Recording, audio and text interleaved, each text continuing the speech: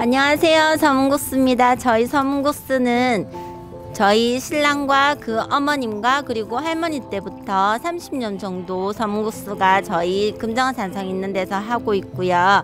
여기 금정구에 오픈한 지는 이제 1년 반 정도 되고 있습니다. 저희는 매일 아침 멸치를 베이스로 야채랑 여러 가지 재료를 넣어서 육수를 끓이기 때문에 육수도 신선하고 각종 채소들과 재료들도 날마다 준비하는 거라 건강한 맛을 드실 수 있으실 거예요.